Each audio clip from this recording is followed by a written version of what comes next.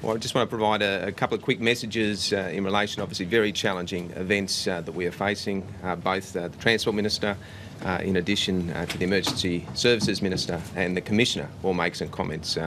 Ultimately, information that people can listen to and respond to in terms of the events we are facing. Uh, there is no doubt that this is a very severe storm event. Indeed, it's uh, a once in sort of 10 year event. Uh, it is probably more severe than was anticipated, so clearly the consequences are quite significant uh, across New South Wales, and it is clear uh, that we're in the midst of very challenging weather. Uh, certainly, we want to start by saying that it, is, it looks very much like we have lost three residents. They are elderly residents, and at the moment, those circumstances are being worked through. But we do want to know uh, for their families uh, that our thoughts and, and prayers uh, are with them. Uh, it's in the Dungog area, uh, particularly heavily affected uh, by these events, but obviously it's too early to say what has happened.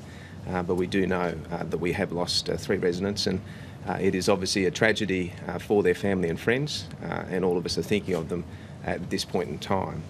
It is a very significant event. The calls for assistance are huge.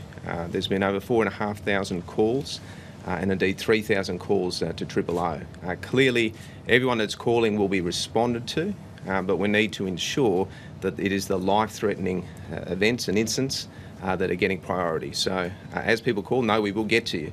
But importantly, it is life-threatening at this point that is getting the priority, and that is something that we are working very hard across. So, if you are calling, and the, the ministers will give details of all the contact points again, uh, again, try and prioritise in the sense understanding that there are some life-threatening situations, and that is where the, the priority is, is being directed.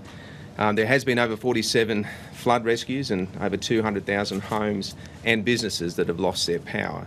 And again, um, there is a number of people, our our workers, that are working very hard to restore that power. Uh, but it is a constant event with the winds, the strength they are, and continuing to be uh, of high strength. Um, that uh, the priority will be uh, to get power back to hospitals uh, and our aged care facilities in particular.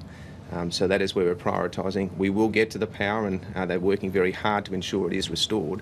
Uh, but people need to be prepared to be patient uh, while we focus very clearly on the critical services in health and aged care. Um, I also we need to note um, that the storm, in terms of the weather forecasts, now suggests between now uh, and midnight could become more severe, um, particularly in the Hunter and down to the central coast. Um, so there is a, a strong advice uh, to everyone across the greater metropolitan area, and that's really from Illawarra through to Newcastle, uh, to start to head home uh, as soon as you possibly can. Uh, there'll be specific advice that will come into Newcastle in particular. Uh, but what we're calling on people is uh, for bosses to be flexible, for people to make arrangements in an orderly way um, to start to head home as soon as you possibly can. And on that journey, obviously, uh, patience in terms of public transport, uh, and at the same time, uh, careful if there is floods or waters across the roads, ensuring that you do not enter them. That is the biggest risk uh, at the moment uh, that we're seeing. Do not enter uh, floodwaters, because again, those flood rescues, many of them have been from people entering uh, floodwaters that they shouldn't be entering.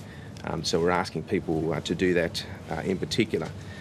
The last thing I want to do is just to thank um, the workers, and there are thousands of workers across these areas doing this state proud, um, both in the RFS, the fireys, our police, the SES, transport officers, um, all of them out there uh, working in incredibly difficult circumstances, but first and foremost, focused on helping people uh, in incredibly difficult positions uh, right now. So I want to thank them for their work. There's a lot of work that has to be done, uh, particularly over the next 12 hours.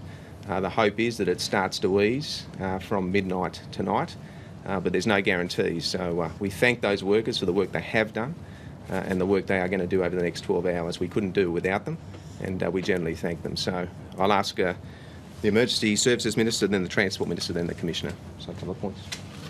Thank you, uh, thank you, Premier. This is a one in a decade storm, uh, the likes of which we haven't really seen since 2007. Uh, can I first place on my on rec- on the record my admiration and thanks to the 500 SES volunteers uh, who are risking life and limb to ensure that the people of this state uh, can get through this tragedy and this disaster like they've got through every other disaster. Can I also thank the Rural Fire Service volunteers? We have some 200 of them supplementing the SES. uh, and of course our permanent fire brigade, uh, a thousand members of Fire and Rescue New South Wales. Uh, this is a, an incident that can avoid, we can see avoiding uh, unnecessary risk by people just making some common sense decisions. Uh, if you do not need to cross a road, don't do it. If you cannot see a road because of flooding, don't attempt to go over it. Uh, those who have life threatening incidences ahead of them, if you are in a life threatening situation, uh, please call Triple O. You will be seen to. If it is not life threatening, if the, if the, if the matter can be, uh, can be postponed, uh, please call the SES hotline on 13 2500. Today's events uh, are going to test our emergency services, uh, but they're there to be tested. Uh, we have seen, as the Premier said, 4,500 responses thus far. That's a big number, but it's not a number that we can't achieve and not, and not a number that we can't address. Uh, I also ask members of the public to be very conscious of the fact that there are a lot of emergency service workers out there.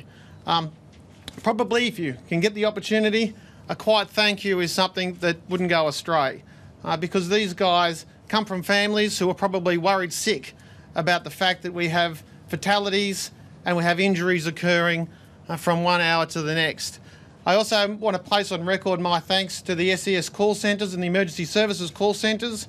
Uh, they've averaged nearly 200 an hour, uh, and that is a figure um, that we really need to be conscious of because that just goes to show the human tragedy that we've seen over the last 24 hours and certainly the anxiety that we expect. Um, this is an incident that we will get through, like we get through every other incident in New South Wales. Uh, but we do very much need the, um, the encouragement of the people, and we certainly need the people of New South Wales to take, to take uh, care when they're deciding whether or not to go home this afternoon and making sure that they are going home in the daylight hours if at all possible. Because, like any other operation, as soon as the sun sets and we're fighting with um, nighttime, uh, these does, this does make any, uh, any rescue operation a little more difficult. So, thanks very much.